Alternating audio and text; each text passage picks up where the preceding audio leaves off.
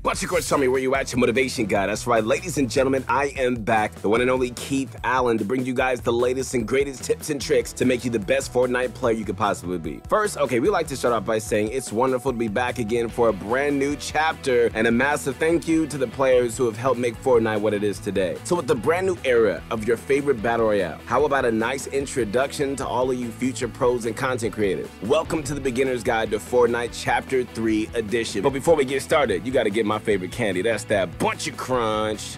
And let's get this going.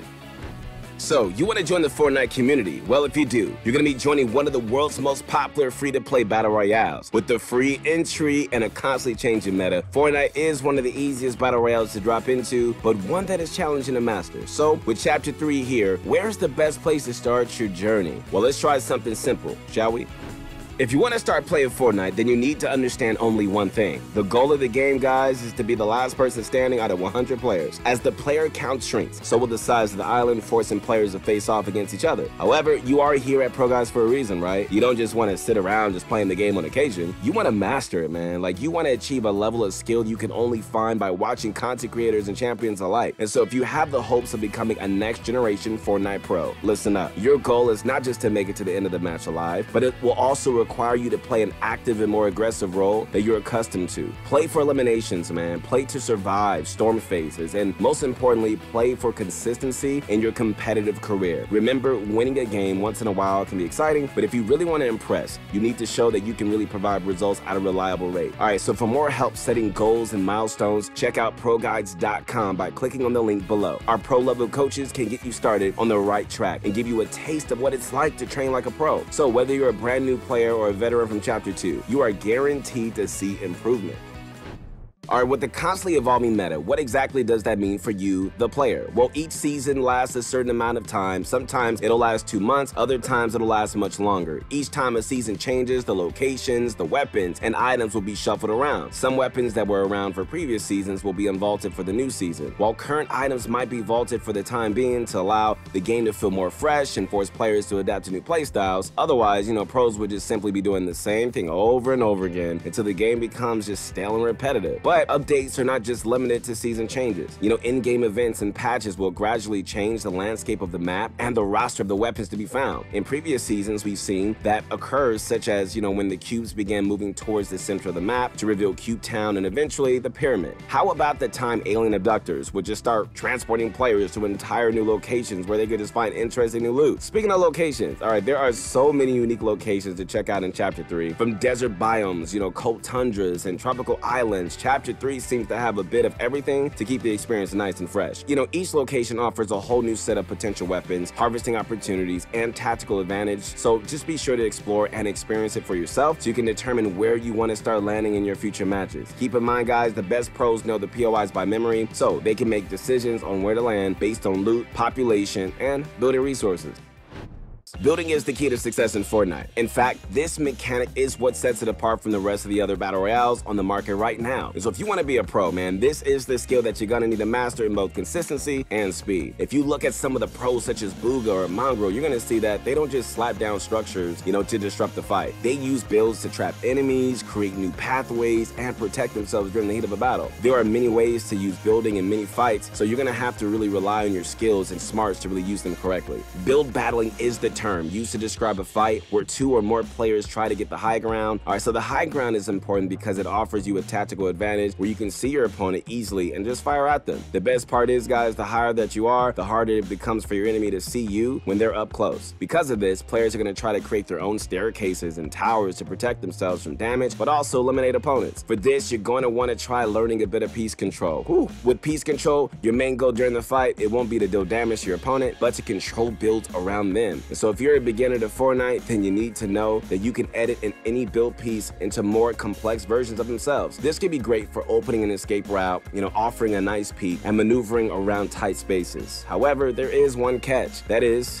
the only owner of a build can really edit it. So if you place down a wall to block a hallway, they can't just edit a doorway. They are now forced to break it down in order to get through. This is why piece control is so important. Players will most definitely just try to trap you in boxes or just cut you off to really limit your movements and control the fight.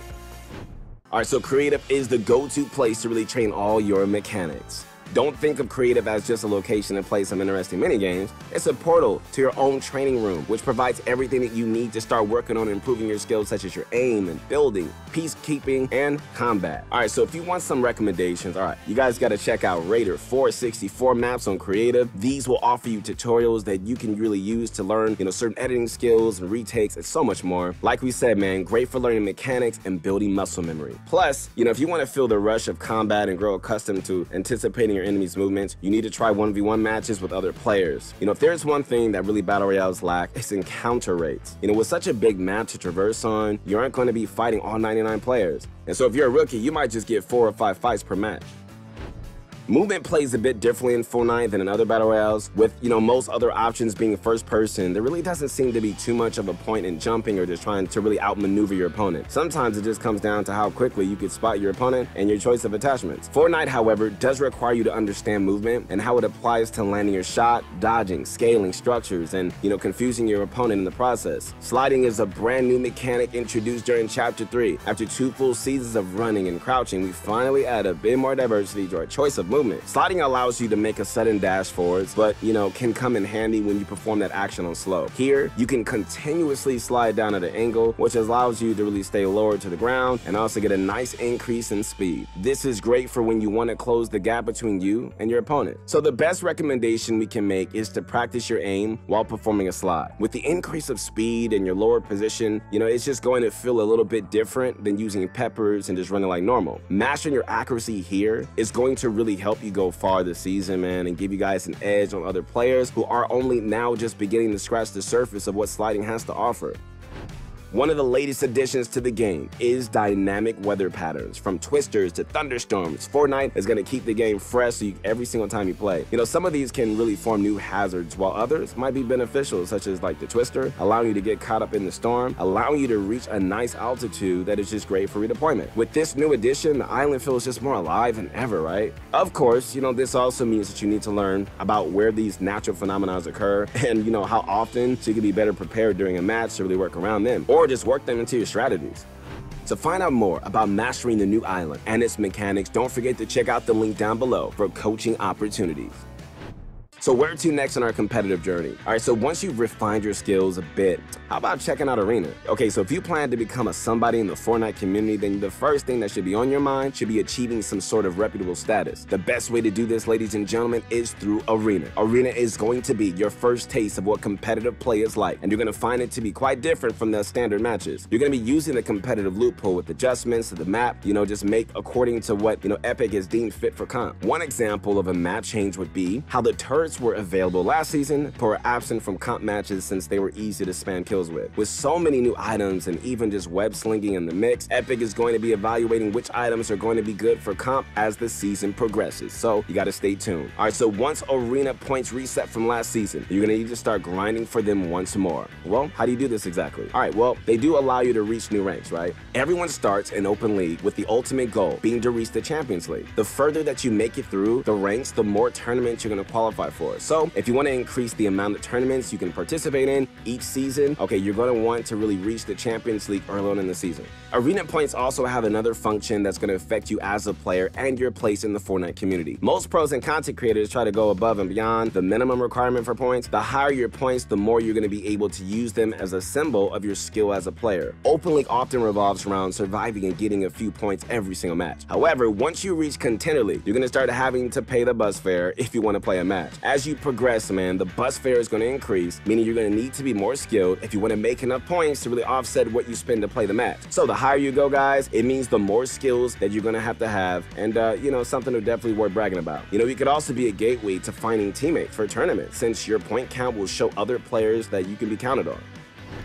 Butcherkrissami. Man, I hope you guys enjoyed this video. Once again, this is your friend, the one and only, your motivation guide, Keith Allen, the one who believes in you, the one who is rooting for you to be the best version of yourself that you can be every single day. Not only just playing your favorite game, but also in life. Keep going, never give up on your dreams. If you guys liked the video, make sure you guys subscribe to the channels. Also, feel free to leave a comment down below on the other skills that you'd be interested in just learning more about. We love to hear what you guys got going on in your life. Hey, we'll see you on the next one. Peace.